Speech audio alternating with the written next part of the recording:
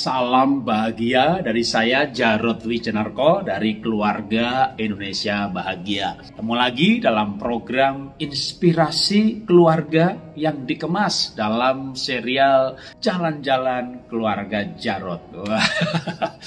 ya Pak Jarod gimana ndak bahagia tuh jalan-jalan melulu? Gimana Pak kalau kami nggak punya dana, nggak seberuntung nasib Bapak bisa jalan-jalan sekeluarga? Jalan-jalan itu optional sebenarnya tanpa jalan-jalan pun juga sudah bahagia. Atau jalan-jalan tidak harus ke luar negeri atau keluar kota, bahkan dengan tanpa uang, tanpa harus bayar tiket atau pintu masuk, bisa pergi ke danau terdekat. Ya, kalau di, di Jakarta ada Waduk Pluit, ya. bahkan mungkin ke tempat-tempat yang tak terbayangkan selama ini, pinggir rel kereta, ke bawah sungai, bawah jembatan, lo ngapain? Ya namanya mau unik dan kreatif. Kadang di tempat-tempat seperti itu, kalau anaknya seneng main Instagram ada angle-angle yang Instagramable dan unik gitu. Yang penting ngambil angle-nya bagus. Waduh bener juga loh pak. Ini ini ini bagus banget. Kayak gimana gitu. Ya kayak di bawah jembatan. Ya kayak di rel kereta. Tapi bisa dengan anak mencoba mengeksplorasi aneka posisi atau aneka tema. Wah pak nih kalau deket rel kereta lalu gini captionnya apa ya? Captionnya patah hati Jadi kita bisa sebenarnya mengeksplorasi ya bahkan kita bisa tertawa, bercanda, anak mencoba aneka gaya. Tidak banyak loh anak yang bisa mencoba aneka gaya ketika ayahnya atau mamanya yang motret. Tapi kalau itu dibiasakan, lama-lama bisa. Bisa cukup dengan tempat-tempat yang dekat. Atau misalnya hanya naik sepeda motor, pergi gelar tikar di pinggir sungai, bawa dekat waduk yang gratis, ya tempat pemancingan, kita nggak ikut mancing, hanya duduk aja di situ, beli kelapa muda, murah. Jadi sebenarnya tidak perlu misalnya yang kita nggak bisa bahagia kayak keluarga Pak Jarod jalan-jalannya jauh-jauh ya ini hanya untuk contoh kami kami jalan-jalan ke tempat wisata karena memang saya punya tujuan yang lain. Selain program ini menjadi inspirasi keluarga program ini juga mendukung pariwisata Indonesia karena pariwisata itu sebuah bisnis yang uangnya itu akan merata. Hari ini kita jalan-jalan ke mana? Ya saya masih bercerita mengenai perjalanan ke Komodo. Ketika di Komodo kita menginap di wilayah Labuan Bajo ada kafe gaya Prancis yang kita coba dan rasanya luar biasa lalu hotelnya pun juga oke okay, ya. Mau yang bintang berapa tersedia. Lalu waktu kita pergi dari Labuan Bajo tempat kita menginap ke Pulau Inka ke Pulau Komodo ke Pink Beach yang menarik bagi saya itu laut luar biasa atau mungkin memang bulannya cocok pas gitu ya. Itu lautnya bisa tenang begitu sampai anak saya sama istri saya kan itu waktunya hampir dua jam lebih gitu ya. Itu sampai tidur di di, di, di perahu itu tidur kan bener kayak kayak naik kereta api tenang naik mobil belok-belok laut kan luas jadi lurus gitu dan dan hampir kayak nggak ada ombak kayak kayak kolam renang. Jadi tenang mereka bisa tidur dan dan belum lagi menarik itu bening sekali itu airnya. Yang menarik lagi adalah ketika kita merapat baik di Pink Beach, baik di Pulau Inka, Pulau Komodonya, maka di situ menurut saya nuansanya dapat banget dalam arti juga di Labuan Bajonya sendiri gitu ya. Perahu yang berjejer-jejer dalam jumlah yang masif gitu ya. Begitu banyaknya dan juga ada perahu-perahu yang yang gayanya memang gaya gaya resort. Jadi itu bukan perahu tapi kapal pesiar di mana mereka datang dari Taiwan dari Korea dari Jepang dan mereka nginep di kapal itu dan itu ketika beberapa buah berjejer-jejer di parkir gitu ya. Buat foto aja udah instagramable. Ini zaman sekarang kan segala sesuatu harus instagramable. Artinya fotonya layak diposting di Instagram dan semuanya kasih jempol. Emang mana zaman ini kebutuhan yang lain dari zaman sebelumnya. kebutuhan jumlah jempol. ya tentu itu tidak, tidak boleh menjadi sebuah ediktif sehingga kalau nggak ada jempol lalu sedih ya malah kehilangan esensi kebahagiaan. Kembali berbicara mengenai inspirasi inspirasi keluarga di tengah jalan-jalan ini. Maka memang saya juga mau sambil menginspirasi dan mendukung pariwisata Indonesia. Kenapa demikian? Karena pariwisata itu coba, ketika orang berangkat, airline-nya dapat uang, nginep di hotel, hotelnya dapat dapat duit.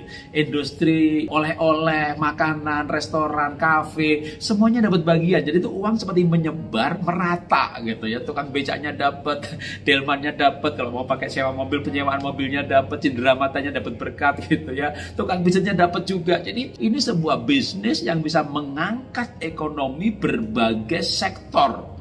Makanya negara-negara yang pariwisatanya pariwisatanya berjalan itu makmur seperti Swiss atau wisata yang dikemas religi, misalnya seperti ke Israel, ke Arab. Ya memang itu ada unsur ziarah, tapi kan juga wisata sebenarnya itu. Maka negara itu makmur sekali karena semuanya terangkat bersama-sama. Dan Indonesia punya potensi yang luar biasa dengan aneka tujuan wisata belum lagi yang suka kuliner. Kalau kita keluar negeri cuma ada saus tomat sama saus sambal. Sambelnya aja di Indonesia beda kota beda sambel.